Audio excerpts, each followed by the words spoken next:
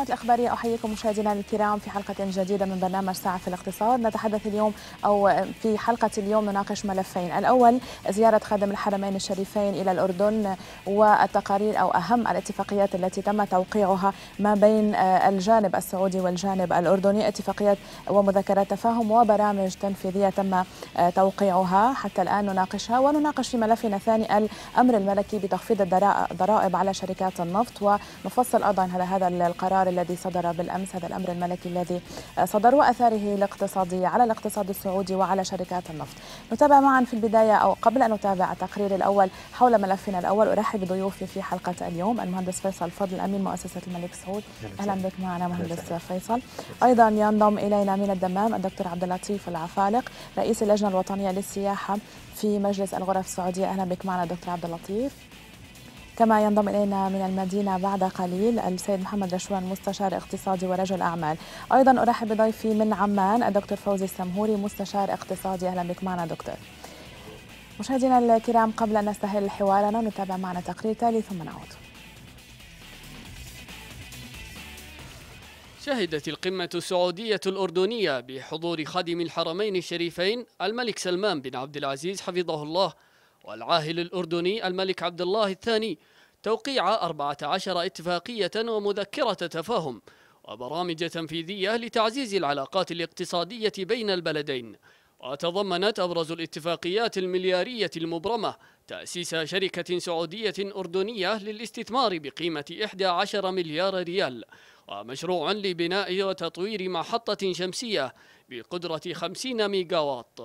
كما اشتملت العقود دراسة جدوى بناء مفاعلين بتقنية المفاعل ذي الوحدة المدمجة لإنتاج الكهرباء وتحلية المياه بالإضافة إلى بحث وتطوير مشروع تعدين خدمات اليورانيوم.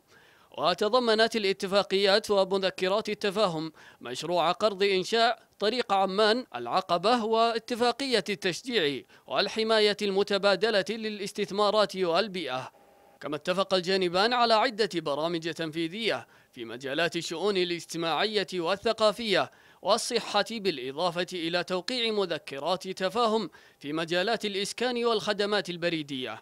وبلور مجلس التنسيق السعودي الأردني خطط الاستثمار وتعزيز التعاون خلال لقاءات رجال الأعمال الثنائية وبحث العروض الاستثمارية والفرص المتاحة وفق رؤية المملكة المستقبلية.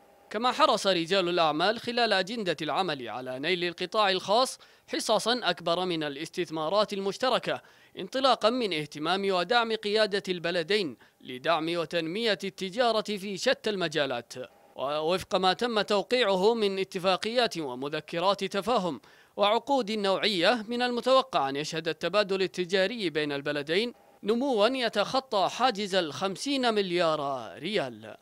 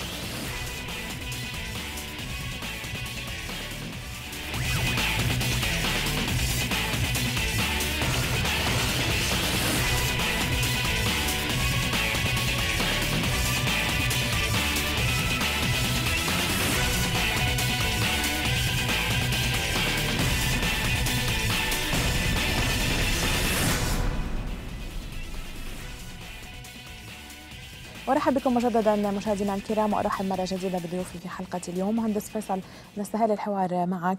آه، يزور خادم الحرمين الشريفين المملكه الهاشمية الأردنية الآن ويحضر القمة العربية. حديثنا عن زيارة خادم الحرمين الشريفين والاثر الاقتصادي لهذه الزيارة. في البداية نتحدث عن العلاقات الاقتصادية بين المملكة والأردن والتي تمتد لأعوام آه، بعيدة. حدثنا في البداية عن آه، تاريخ هذه العلاقات. آه، في الحقيقة آه، طبعا ما في أدنى شك أن هذه الزيارة يعني واضح جدا أنها لها أبعاد آه، اقتصادية واجتماعية وحتى أيضا معنوية. ما في أدنى شك أنه هذا النوع من الزيارات للملوك تعتبر يعني زيارة يعني تتخللها الكثير من من العناية الجمهورية والمحلية والعالمية أيضا والإقليمية. آه، وأيضا لا يخفى على الجميع إنه أول زيارة كانت للملك سعودي آه، للأردن آه، الشقيقة. هي طبعا الملك سعود بن عبد العزيز الله يرحمه. نعم. وأيضا تزامنت في هذاك في هذاك العصر أيضا مع تأسيس مجلس دول الدول العربية. فقد يكون التاريخ يعيد نفسه في في عهد سيدي خادم الحرمين الملك سلمان في نعم. إيجاد هذا النوع وتجديد هذه العلاقة التي هي طبعا ما في أدنى شك إنها مستمرة وتعزز هذا النوع من من التطبيع ما بين الطرفين. نعم. آه، دكتور عبد اللطيف العفارق ارحب بك معنا تنضم إلينا من الدمام. آه، هناك عدد كبير من الاتفاقيات تم توقيعها بين الجانبين السعودي آه، والاردني بتزامن مع زيارة خادم الحرمين الشريفين.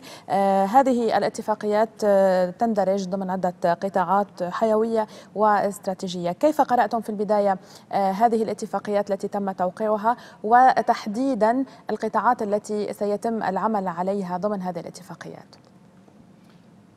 أهلا وسهلا. أسعد الله مساكم جميعا بكل خير.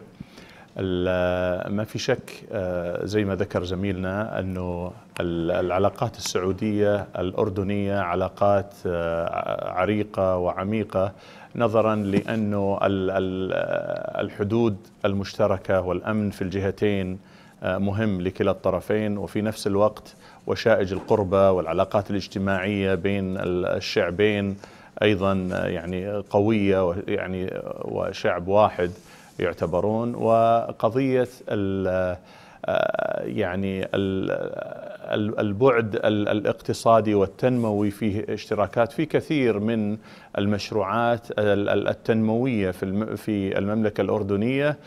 جاءت بمساهمة سعودية نظرا لأن السعودية ترى إن إن إن تطور ورفاه الأردن مهم جدا لها. آه هذا شيء. الشيء الثاني نلاحظ في هذه المرحلة إنه احتياجات البلدين يعني لما نرى إن الأردن آه، يعني آه، بلد يحتاج للطاقة فبالتالي نجد دراسه المفاعلات النووية تستهدف إنتاج الطاقة للأردن تحظى باهتمام آه، سعودي. وأيضا آه، يعني في مجال التعدين آه، اليورانيوم الموجود الخام الموجود في في وسط الأردن هناك يعني نية وتوجه أن تستثمر المملكة العربية السعودية في استخراجه. وفي هذا المجال المملكة أيضا لديها توجه مماثل لقضية تنمية أو أو إنشاء آه، مفاعلات آه، نووية. فالتنمية فالاستثمار في اليورانيوم والاستثمار في المفاعلات وفي الطاقة في البلدين آه، يعني هي هي تأتي تأتي في احتياج المنطقة والشراكات كل كل البلدين مهم لها هذا هذا واحد. من جهة أخرى تتميز طبعا الأردن بالسياحة العلاجية مثلا. صحيح. آه، وجدنا إنشاء المدينة الطبية ومساهمة المملكة فيها. الأردن هي يمكن الدولة الأولى في الشرق الأوسط في السياحة العلاجية. يعني يقصدها الناس يعني في يعني من من من مختلف الدول العربية المحيطة من اليمن ومن آه، سوريا ومن آه، ليبيا ومن ومن شمال المملكة، شمال المملكة آه، عمان أقرب لهم مثلا من العواصم من العاصمة السعودية والمدن الرئيسية في المملكة، بالتالي هم يقصدونها، إذا عرفنا إنه العام الماضي كان في عمليات تكميم المعدة لسعوديين بما يقارب ال 14 ألف عملية. فبالتالي نعرف أنه الاستثمار السعودي في تنمية هذا القطاع هو استثمار مجدي ومشترك وغير ذلك من الصناعات الدوائية والمنتجات الزراعية وخلافها لتحظى باهتمام المملكة العربية السعودية الشريك الأكبر للأردن. اقتصاديا. نعم, نعم. أنتقل إلى ضيفي من الدم من عمان دكتور فوزي سمهوري مستشار اقتصادي. أرحب بك معنا دكتور فوزي. تم تأسيس الصندوق السعودي الأردني بالتزامن مع زيارة خادم الحرمين الشريفين إلى الأردن. يستهدف استثمارات تصل قيمتها إلى ثلاثة مليارات دولار ما يزيد على 11 مليار ريال سعودي. ما أهمية إنشاء هذا الصندوق السعودي الأردني المشترك واستثماراته في قطاعات موجهة؟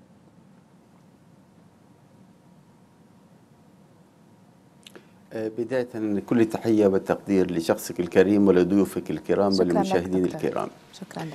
أعتقد أولا عندما نتحدث عن توقيع الاتفاقيات لا يمكن لنا أن نأخذ هذه الاتفاقيات بمعزل عن العلاقة التاريخية التي ربطت ولا زالت تربط وستربط بإذن الله العلاقات ما بين القيادتين الحكيمتين في المملكة العربية السعودية وفي المملكة الأردنية الهاشمية كما أنها تربط العلاقة القائمة على الحب والاحترام والتقدير على الصعيد الشعبي من قبل الشعب الأردني الود والاحترام الذي يكنه للشعب السعودي وللقيادة السعودية وكذلك الشعب السعودي الذي نلمس أيضا مدى حبه واحترامه للشعب الأردني. لذلك عندما نتحدث عن هذا البعد الاقتصادي تأتي في مرحلتين مهمتين. المرحلة الأولى أولا آه، تأتي تنفيذا بتقديري لرؤية ولي ولي العهد خادم الحرمين لرؤيته للاقتصاد السعودي لعام 2030 آه، وهذه القائمة على عملية التوسع في الاستثمار بالخارج من أجل تنويع مصادر العوائد للداخل السعودي وهذه ميزة إيجابية. فلم تجد خادم الحرمين بتوجيه طبعا خادم الحرمين الشريفين بيئة استثمارية آمنة يبدأ بعملية البحث في الاستثمار والتوسع بها إيه، مثل الأردن. وبنفس الوقت تأتي عبارة عن دعم اقتصادي وسياسي من جانب خادم الحرمين إلى الدولة الأردنية قيادة وشعبا. فبالتالي من هنا من هذا المنطلقين انطلقت وأفهم هذه الاتفاقيات وتأسيس الصندوق الاستثماري الأردني السعودي الذي تصل آه، كما قلت في بداية التقرير الاستثمارات إلى 3 مليار دولار تقريبا وقابلة للزيادة إلى حوالي 10 مليار دولار على المدى المتوسط أو البعيد نعم. والأردن آه، تنفيذا لهذه قد سن قانون الاستثمار الاستثمار الأردني وهذا الصندوق كان من شأنه أن يزيل كافة العوائق والقيود أمام أي توجه استثماري سيتجه الصندوق المشترك السعودي الأردني آه، للاستثمار في داخل المملكة الأردنية الهاشمية لذلك هذا نعم. الصندوق بتقديري الآن أنه مرشح لعملية التوسع وبناء الاقتصادات المتوخى على كافة القطاعات سواء اقتصاد الطاقة وبعد ذلك السياحة والتعليم والإعلام والبيئة والمياه والغذاء وغيره لذلك من شأن بناء والبدء في تنفيذ هذه المشاريع نعم. من نعم. شأنها أن تعمل على تحريك وتنمية الاقتصاد الأردني الذي يعاني من تباطؤ وانكماش نتيجة الظروف التي تعصف بالإقليم نعم آه وبنفس ممتاز. الوقت هذه من شأنها أن تعمل على تخفيض نسبة البطالة في المملكة الأردنية الهاشمية وهذا بالتأكيد يشكل هو دعم لاستقرار وأمن الاجتماعي كما سيشكل لأننا كلنا نعلم أن الفقر والبطالة هي عوامل خصبة للمتطرفين وللإرهابيين نعم. لذلك عندما نعمل نعم. على رفع سوية المواطن الأردني من شأن ذلك تكون هي عبارة عن حرب على التطرف والإرهاب نعم. والذين ممتاز. كلنا نسعى من أجل دكتور. من منطقتنا مم. وترسيخ الأمن والاستقرار نعم. في كلا البلدين لأن نعم. الأردن تشكل عمقا للمملكة العربية السعودية صحيح. كما أن المملكة العربية السعودية تشكل العمق للمملكة الأردنية الهاشمية وعندما أتحدث عن عمق وأمن أتحدث عن الأمن بمفهومه التقليدي نعم. أتحدث عن الأمن الاجتماعي عن نعم. الأمن الاقتصادي وعن غيرها هذه عوامل من هنا صحيح. أقرأ تأسيس هذا الصندوق بتوجيه خادم الحرمين نعم. وقيادة جلالة الملك عبد الله الثاني. ونأمل أنه هذه المشاريع أن نعم. يبدأ يلمسها المواطن الأردني وتعود بالنفع على المواطن السعودي والمستثمر نعم. السعودي نأمل ذلك. خلال دكتور سوف نعود إليك بعد قليل. أرحب بضيفي من المدينة المنورة الأستاذ محمد رشوان مستشار اقتصادي ورجل أعمال. أهلا بك معنا. الاستثمارات التي آه، آه، تم تم الاتفاق عليها آه، تتجه بشكل كبير نحو قطاع الطاقة والسياحة في الأردن. كيف يمكن الاستفادة من خبرة المجال السعودي قطاع الأعمال السعودي أيضا آه، شركات الطاقة آه، في المملكة العربية السعودية من آه، من خبرتها وفي نفس الوقت من المزايا الاقتصادية في الأردن والتي تدعم قطاع الطاقة وقطاع الثاني القطاع السياحي الذي أيضا تم توقيع اتفاقيات في هذا المجال. بسم الله الرحمن الرحيم. الحمد لله رب العالمين وصلى الله وسلم على نبينا محمد وآله وصحبه وسلم. طبعا كلنا الحمد لله رب العالمين مبتهجون بهذه الزيارة الميمونة لسيدي خادم الحرمين الشريفين لمملكة الأردن المملكة الشقيقة التي تعتبر يعني جزء رئيس وقطعة يعني من من القلب العربي والسعودي. طبعا المشروعات التي أشرت إليها أو القطاعات التي أشرت إليها القطاع السياحي وقطاع الطاقة هما قطاعان مهمان وتتمتع آه، المملكة الأردنية الهاشمية بميزات نسبية وتنافسية فيها آه، كبيرة. فتوجه آه، المملكة وتوجه رجال الأعمال السعوديين للاستثمار في هذين القطاعين توجه محمود وتوجه رشيد. ونظرا لما أسلفنا مما تمتلكه الأردن من ميزات نسبية وميزات تنافسية، ميزات نسبية في وجود البحر الميت ووجود آه، عدد من العيون والعلاج السياحة العلاجية نعم. في هذا الشأن، كذلك الأردن يعني لديها آه، آه، كوادر بشرية مؤهلة ولديها خبرات تراكمية في العديد من المجالات ومن ضمنها مجال الطاقة وكلنا يعني لا يخفى على الجميع أن هذا القطاع قطاع كبير وواعد ومهم نعم. ومهم للأردن وكذلك يعني مهم لنا كدولة جارة ويعني ممكن أن يكون هناك مستقبل الربط إذا نجح هذا المشروع ونسال الله عز وجل له النجاح والتوفيق نعم. ان يكون هناك ربط ويكون هناك تعاون في هذا المجال نعم. بأن تنقل الخبرة نعم. تنقل التقنية ويستفيد البلدان من هذه الميزات المتوفرة آه، لديه لدى كليهما والكوادر البشرية المؤهلة في هذا المجال نعم. فهذين القطاعين قطاعين كبيرين وواعدين ويسهمان آه، في يعني فائدة كبيرة لكلا البلدين. وزي ما ذكرنا أنه آه، يعززان من من من القدرة في هذا المجال.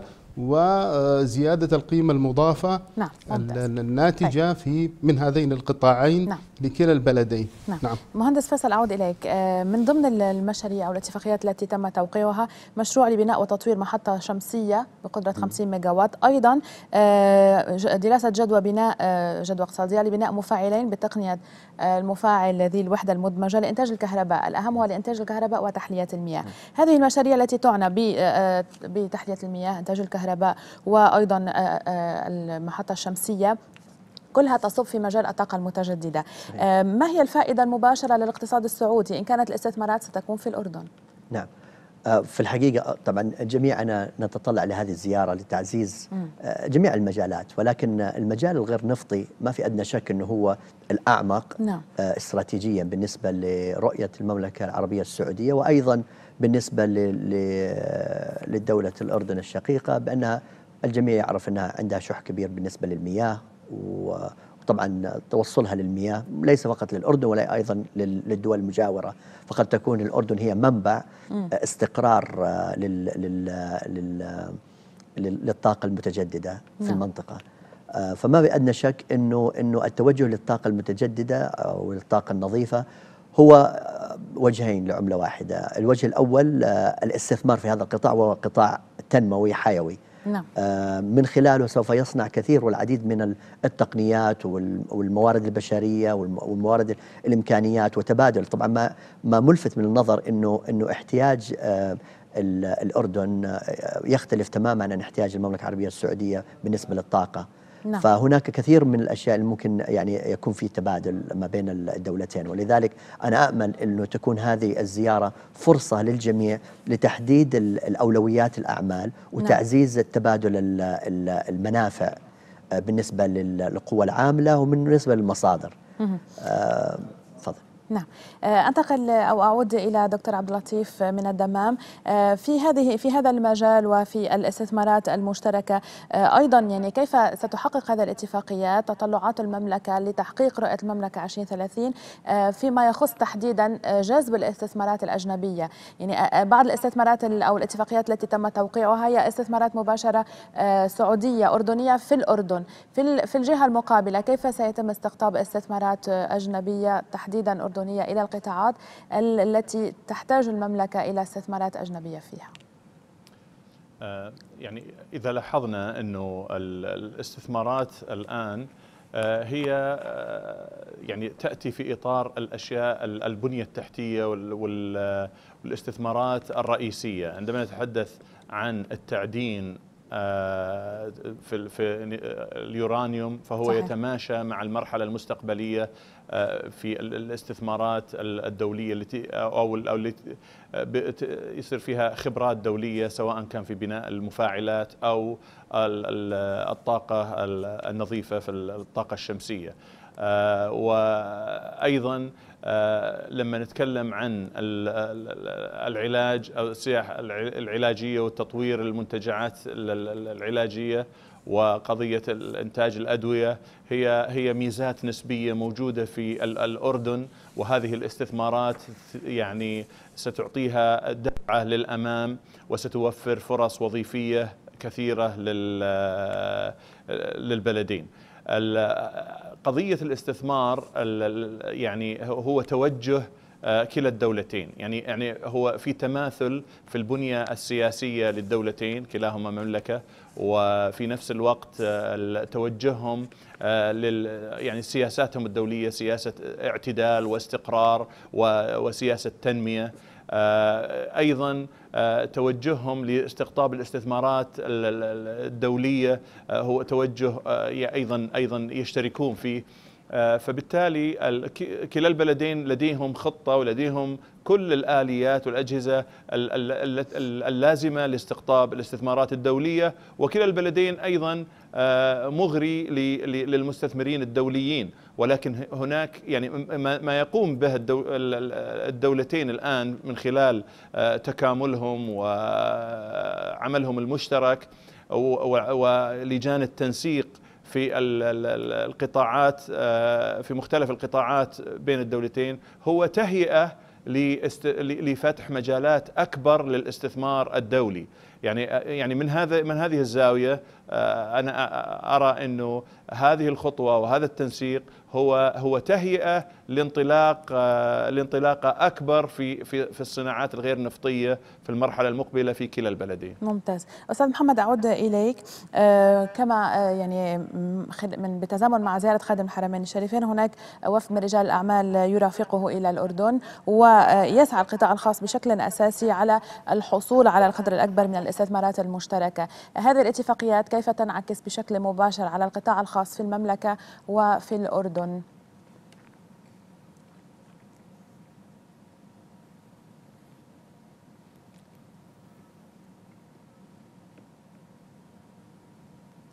أستاذ محمد هل تسمعني؟ أستاذ محمد طيب أنتقل إلى الدكتور فوزي دكتور تسمعني؟ نعم الآن سمعتك؟ نعم, نعم. طيب. نعم الله آه، يحفظك. طيب سوف أعود إليك أستاذ محمد بعد لحظات دكتور فوزي آه نتحدث عن القطاع الخاص بين البلدين وانعكاس هذه الاتفاقيات التي تم توقيعها آه على القطاع الخاص بشكل مباشر. طيب يبدو أن لدينا مشكلة في الصوت. أعود إلى أستاذ محمد. أستاذ محمد أسألك نفس السؤال. الاتفاقيات التي آه التي تم توقيعها ونتحدث عن القطاع الخاص بشكل أساسي. أنا أعتذر. أستاذ محمود إذا آه نعم. أستاذ محمود تسمعني؟ نعم أسمعك طيب. الآن. نعم. نتحدث عن شركات القطاع الخاص والاستثمارات والاتفاقيات التي تم توقيعها. كيف تنعكس بشكل مباشر على القطاع الخاص في البلدين وقطاع الأعمال؟ الاتفاقيات هذه اتفاقيات كان مطلوب أن تكون من وقت يعني بعيد ليس من الآن. طبعا الوفد الذي رافق سيدي خادم الحرمين في هذه الزيارة يتكون من أكثر من 100 رجل أعمال سعودي بعضهم رؤساء شركات كبيرة وبعضهم مسؤولين في شركات حكومية وشبه حكومية. طبعا هذه القطاعات التي تم التوقيع توقيع اتفاقيات في حوالي 14 اتفاقية. وهناك اتفاقيات أخرى في مجالات أخرى ما بين القطاع الخاص بعضه البعض في مجالات الأسمدة الكيماوية في الصناعات الكيماوية في صناعات كثيرة بعضها يعني يصل إلى 750 مليون دولار حسب ما هو أمامي وما إلى ذلك. طبعا هذا الأثر والعائد كبير حيكون على الجانبين.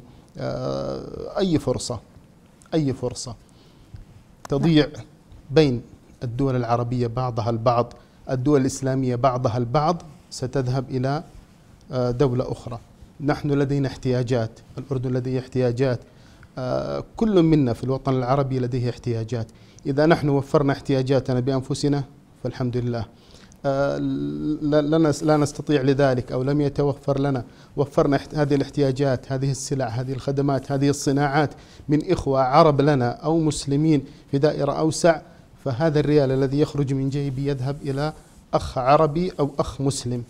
ولكن متى ما قصرنا نحن في هذه المشاريع في هذه الفرص ذهبت الأموال إلى جهات أخرى وأصبح مع الوقت يتولد لدينا احتياج أكبر فأكبر ونصبح مرهونين للآخرين.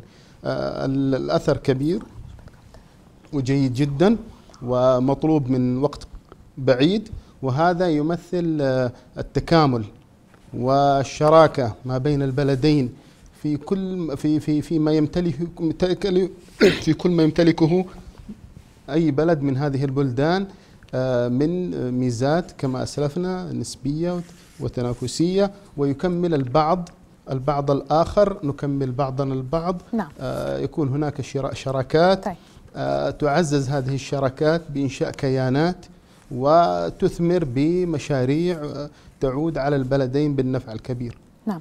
دكتور فوزي أعود إليك. هناك مجلس عمل مشترك سعودي أردني وما زلنا نتحدث عن القطاع الخاص. ما كيف يمكن تفعيل دور مجلس الأعمال السعودي الأردني والاجتماعات التي يجريها أيضا الآن بالتزامن مع زيارة خادم الحرمين الشريفين لزيادة التبادل التجاري بين الجانبين والاستثمارات المشتركة؟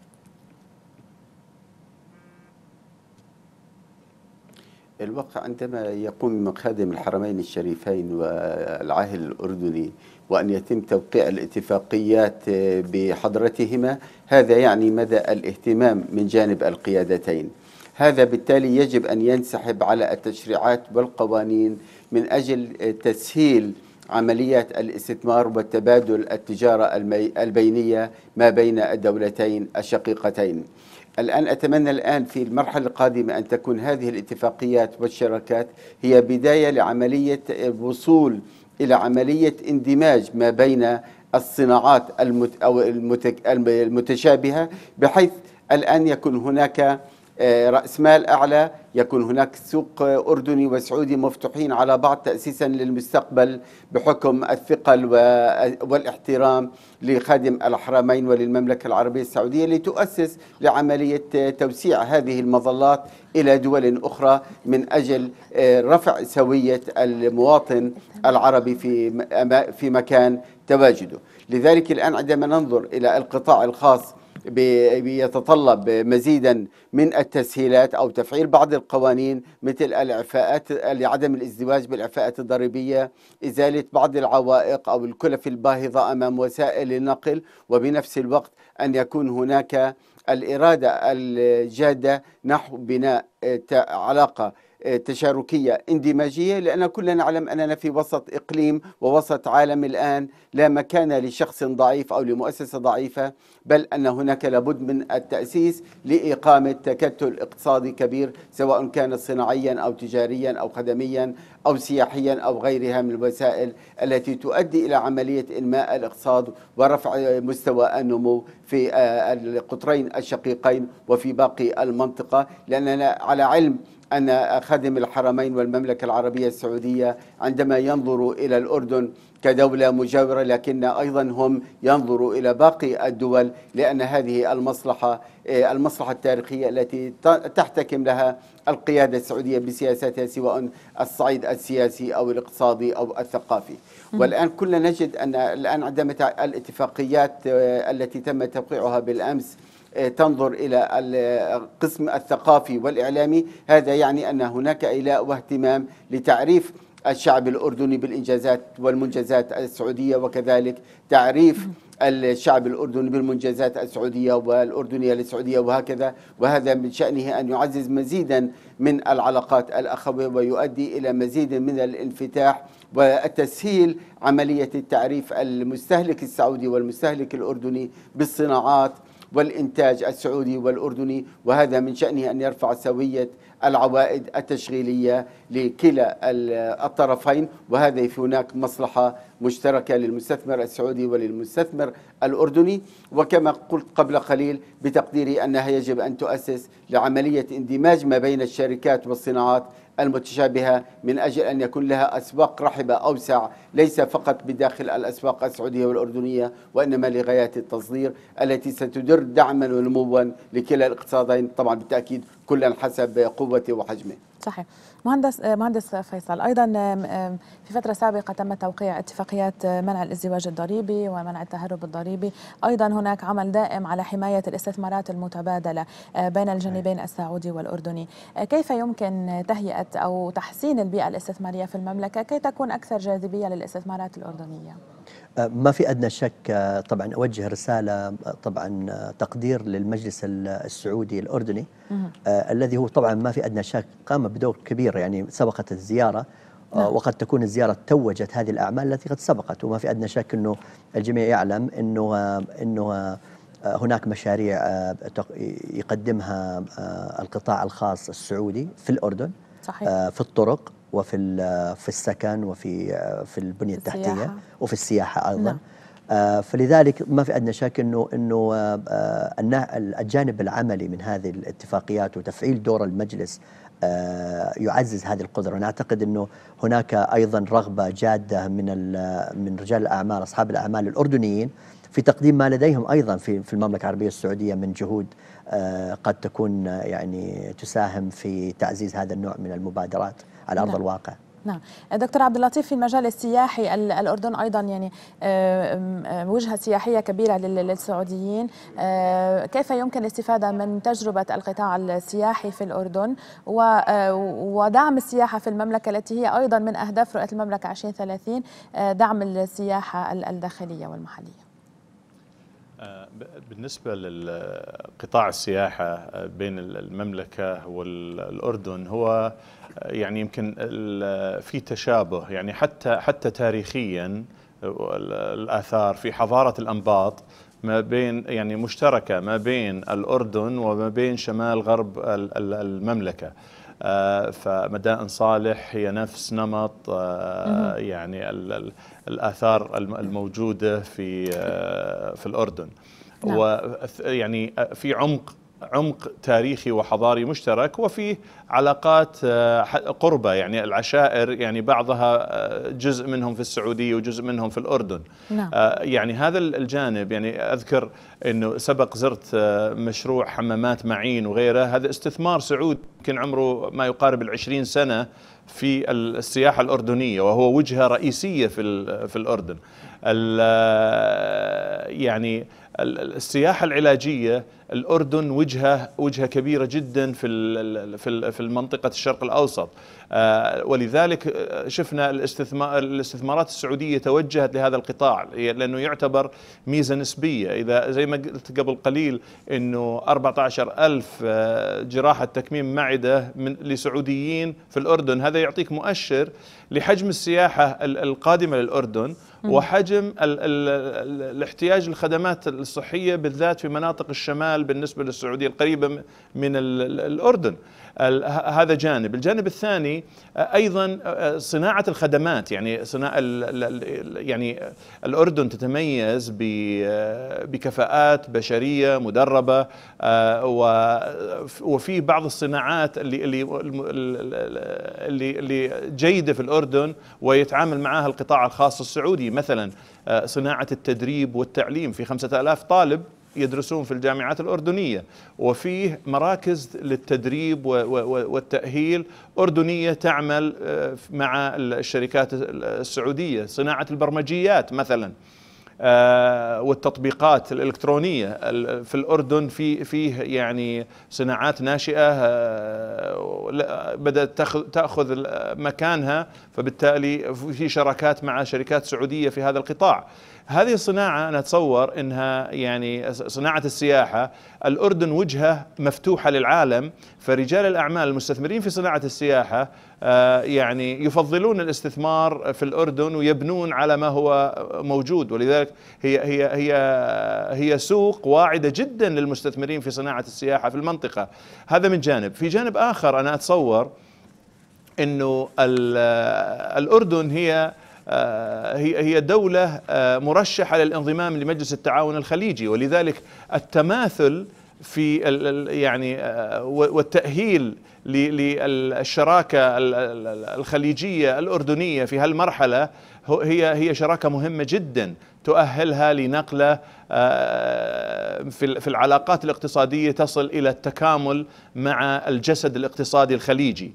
وطبعا ما في شك إنه بوابة الأردن للخليج هو عبر السعودية. بالتالي كل هذا التطور في العلاقات الاقتصادية والاستثمارية آه، ودعم البنى التحتية في كلا البلدين أنا أعتقد أنه هو تهيئة لمرحلة مقبلة ولمستوى من العلاقات الخليجية الأردنية متقدم بإذن الله. نعم. أستاذ محمود أعود إليك. من ضمن الاتفاقيات أيضا التي تم توقيعها آه، آه، اتفاقية لتأهيل لشراكة لإنشاء مصنع لتأهيل السيارات مصنع آخر لملحقات شبكة الكهرباء الذكية. هذا ما يعني أيضا يعنى بقطاع التقنية والتطور في هذا المجال. المجال. آه، هذه القطاعات إلى أي مدى بالفعل تحتاج إلى دعم من آه، في إن كان في الأردن أو في المملكة؟ طبعا هذين قطاعين آه، حيويين قطاع تأهيل السيارات ويعني يمكن رجل الأعمال السعودي علي برمان اليامي هو اللي صاحب هذا الاستثمار وهو رجل يعني له بصماته كذلك العدادات الإلكترونية وما إلى ذلك. هذه قطاعات حيوية وتحتاجها المملكة العربية السعودية. وكذلك الأردن تمتلك فيها ميزة آه، كوادر بشرية مؤهلة ولديها تراكم معرفي في هذا الباب وهي تمثل عمق بالنسبة لنا في صناعة النقل صناعة تأهيل السيارات وما إلى ذلك. ف آه، الاستثمار هذا جيد وواعد ويحقق للبلدين فوائد كبيرة. سواء هذين المجالين أو المجالات الأخرى التي آه، تم الاتفاق فيها الكيماويات الأسمدة وما إلى ذلك. آه، الأردن تمتلك إمكانيات كما ذكرنا كبيرة في هذين هذه المجالات وكذلك آه، لديها خبرات تراكمية كبيرة ويعني هذه تخلق فرص كبيرة يعني نوع من المساهمة الأخوية من المملكة العربية السعودية للأردن أن تنشأ هناك كيانات كبيرة وتستفيد الأردن منها آه، نعم. آه، تعمل بها قوة بشرية كبيرة وفي نفس الوقت نحن نستفيد كذلك من معطياتها ونتائجها نعم. فالفائدة مشتركة للجميع. صحيح.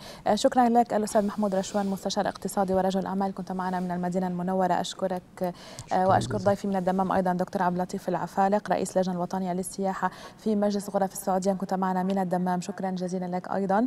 وأشكر ضيفي من عمان الدكتور فوزي السمهوري مستشار اقتصادي. أشكر مشاركتك في حلقتنا اليوم.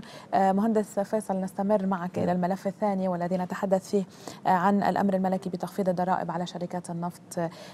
نستمر معك إذا في هذا الملف بعد أن نتابع مع السادة المشاهدين التقرير التالي ثم نعود.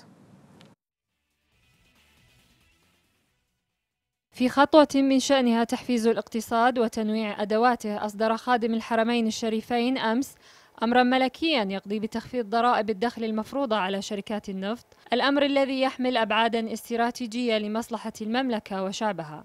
وبموجب الأمر الملكي الكريم سيكون سعر ضريبة الدخل على الوعاء الضريبي للمكلف الذي يعمل في إنتاج الزيت والمواد الهيدروكربونية بخمسين في المئة للمكلف الذي يتجاوز إجمالي استثماراته الرأسمالية في المملكة 375 مليار ريال و65% للمكلف الذي يتجاوز إجمالي استثماراته الرأسمالية 300 مليار ريال. وحتى مبلغ 375 مليار ريال و75% للمكلف الذي يتجاوز إجمالي استثماراته الرأسمالية 225 مليار ريال وحتى مبلغ 300 مليار ريال و85% للمكلف الذي لا يتجاوز إجمالي استثماراته 225 مليار ريال. وتعليقا على هذه الخطوة الهامة أكد محمد الجدعان وزير المالية السعودي أن أي انخفاض في إيرادات الضرائب المفروضة على الشركات المنتجة للنفط والمواد الهيدروكربونية العاملة في السعودية سيتم تعويضه بتوزيع أرباح مستقرة من قبل تلك الشركات التي تملكها الدولة. وتدفقات مالية أخرى تدفع للحكومة بما في ذلك التدفقات الناتجة عن أرباح الاستثمارات. فيما أكد وزير الطاقة والصناعة والثروة المعدنية المهندس خالد الفالح أن المملكة ستظل صاحبة السيادة على مواردها الهيدروكربونية.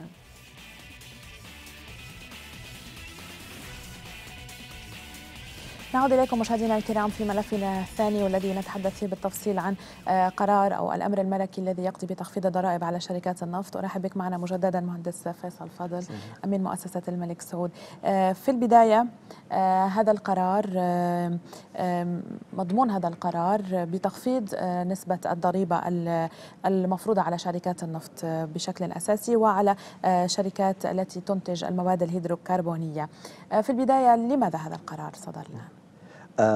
طبعا هو طبعا ما في ادنى شك قرار سيادي نعم للمملكة العربية السعودية وأنا هذا يدل على قدرة المملكة العربية السعودية إنها تكون بشكل تنافسي قوي وهذا يدل على تعزيز قدرتها إنها تكون ان هي بما انها هي المركز الأول عالميا في تقنيات البترول.